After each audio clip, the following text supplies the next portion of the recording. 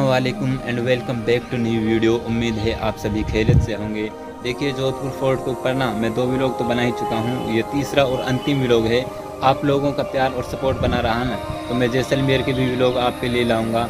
तो उम्मीद करता हूँ आप सभी लोग मुझे इसमें सपोर्ट करेंगे और लोगों तक वीडियो शेयर भी करेंगे। शुक्रिया आप सभी लोगों का। तो देखते हैं वीडियो। अभी मैं पार्किंग में खड़ा हूँ और ये जो सामने देख रहे हो ना, ये किले के पार्किंग है, जो भी टूरिस्ट लोग अपनी गाड़ियाँ वगैरह जो चीज़ भी लाते हैं, वो यहीं पर पार्क करने के बाद वो किले के अंदर जाते हैं।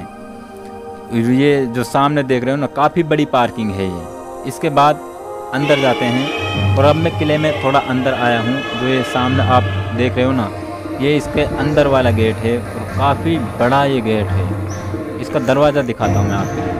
ये देखिए, इसका बहुत बड़ा दरवाज़ा है। देखिए ऊपर तक। और इतना मज़बूत दरवाज़ा है कि देखिए, जो आज तक भी सही सलामत खड़ा है तो वो कितना मज़बूत होगा। और मजबूती के लिए देखिए, इसमें लोहे की बड़ी बड़ी कीलें लगाई हुई हैं। और काफ़ी ज़्यादा लोग ना यहाँ पर घूमने के लिए आते हैं। काफ़ी दूर दूर से लोग आते हैं। अब जब मैं ही इतनी दूर से यहाँ पर पहुँचा हूँ आप सभी लोगों के लिए तो पहले ये देख लीजिए आप। ये ना राजस्थानी सभ्यता के साथ कुछ राजस्थानी गाने गाते हैं और लोग इनको देखते हैं और इनके लिए कुछ 10 बीस, पचास रुपए देकर चले जाते हैं क्योंकि यही इन लोगों का कमाने का तरीका है अर्निंग का यही तरीका है इनका। देखिए, एक बार और सुन लीजिए आप इनको।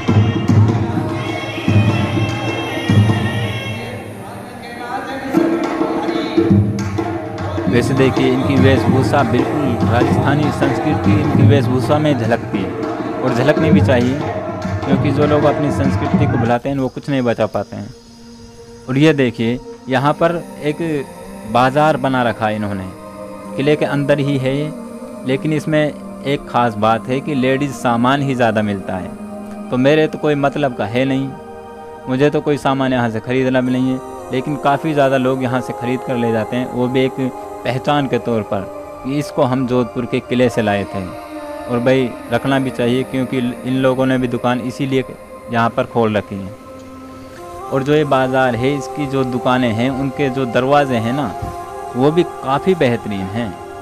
हर चीज़ में कुछ ना कुछ अलग आपको यहाँ पर देखने के लिए मिलेगा। ये छतरी, ये टेबल और ये तकिया वगैरह जो गद्दे, गलीचे यहाँ पर लगाए गए हैं, ये सभी चीज़ें देखिए कितने अलग हैं। मुझे तो आज भी ऐसा लगता है कि उस वक्त का टाइम देखा जाए और आज का देखा जाए तो काफ़ी अलग है। और ये देखिए, ये तो खूबसूरती इसकी बिल्कुल ही अलग है। और अब आपको मैं ले आया हूँ इसके शस्त्र खाने की ओर, जहाँ पर राजा महाराजाओं के शस्त्र रखे हुए हैं।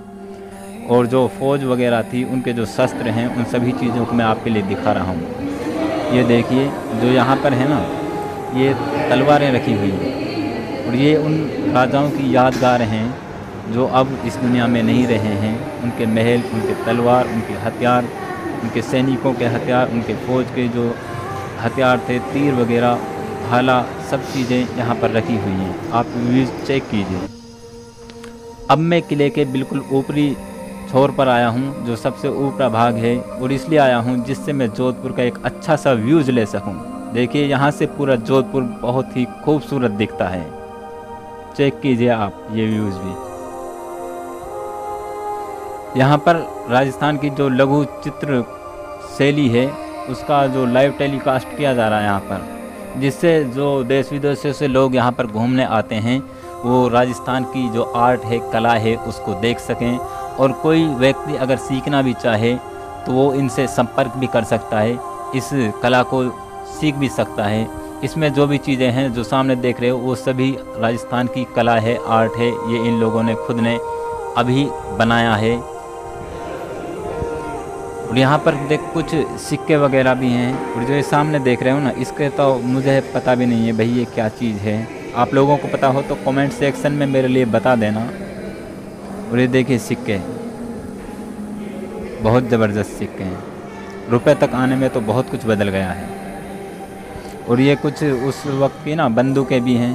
शायद एक गोली ही चलती होगी इनसे फिर दस मिनट में दूसरी गोली चलती होगी। यहाँ जो सामने आप देख रहे हो ना, ये किले का तालाब है। उस वक्त का तालाब है।